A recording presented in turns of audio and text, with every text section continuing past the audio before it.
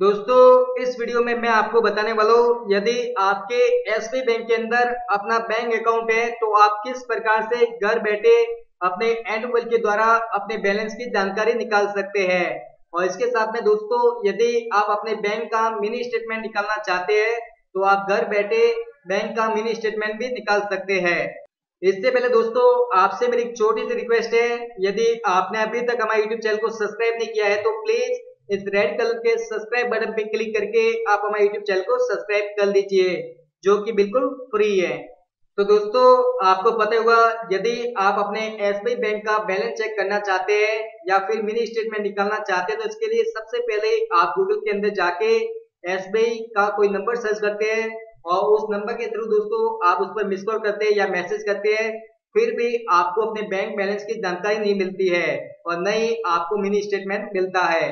पर इस वीडियो के थ्रू आप जान सकते हैं कि आप किस प्रकार से केवल एक मैसेज के द्वारा आप अपने बैंक का बैलेंस चेक कर सकते हैं और साथ में आप अपने बैंक अकाउंट का मिनी स्टेटमेंट निकाल सकते हैं।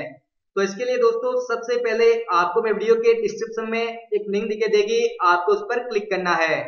उस पर क्लिक करने के बाद दोस्तों, आप इस साइट के अंदर आ जाते हो। यहाँ से दोस्तों, आप पता कर सकते हैं कि आप किस प्रकार से अपने बैंक बैलेंस की जानकारी निकाल सकते हैं और आप किस प्रकार से अपना मिनी स्टेटमेंट निकाल सकते हैं।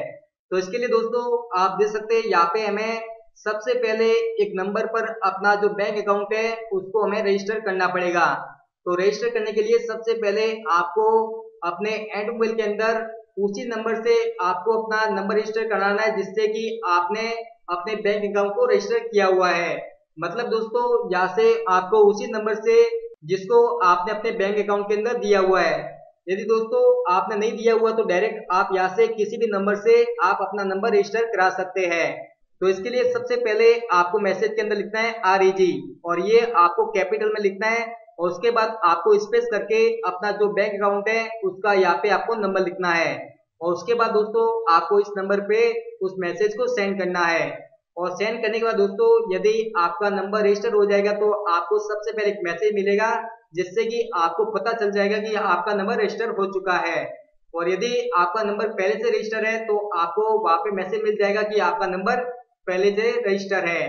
यदि दोस्तों, आपका नंबर पहले से रजिस्टर है या फिर रजिस्टर हो चुका है, फिर यदि आप अपना बैलेंस की जानकारी निकालना चाहते हैं तो आप इस नंबर पर मिस कॉल कर सकते हैं, जिससे कि आप अपने बैलेंस की जानकारी निकाल सकते हैं। यदि आप यहाँ से मैसेज करना चाहते तो आप उसी नंबर से मैसेज भी कर सकते हैं।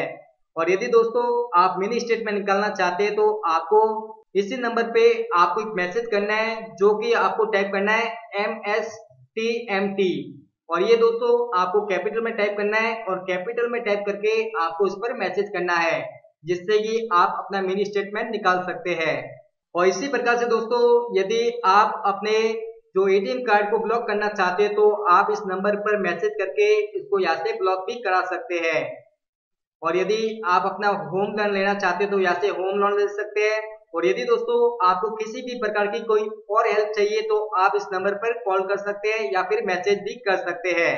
तो दोस्तों आप देख सकते हैं, मैंने यहाँ पे अपने नंबर को पहले से रजिस्टर किया हुआ था, इसलिए मुझे यहाँ पे ये मैसेज मिल चुका है कि यहाँ पे जो आपका नंबर है, वो पहले से रजिस्टर किया हुआ है। उसके बाद दोस्तों, मैंने उसी नंबर पर मिस कॉल किया तो यहाँ पे जो मेरा बैंक बैलेंस है, उसकी जानकारी यहाँ पे मुझे मिल जाती है। यदि दोस्तों, आप भी अपने बैंक बैलेंस की जानकारी निकालना चाहते हैं तो इसके लिए दोस्तों, आपको उसी नंबर पे मिस कॉल करना है। तो दोस्तों, आप देख सकते हैं, यदि आप अपने बैंक बैलेंस की जानकारी निकालना चाहते हैं तो आप कॉल करना है। और कॉल करने के बाद आपका जो कॉल है, वो ऑटोमेटिक यहाँ पे कट हो जाएगा।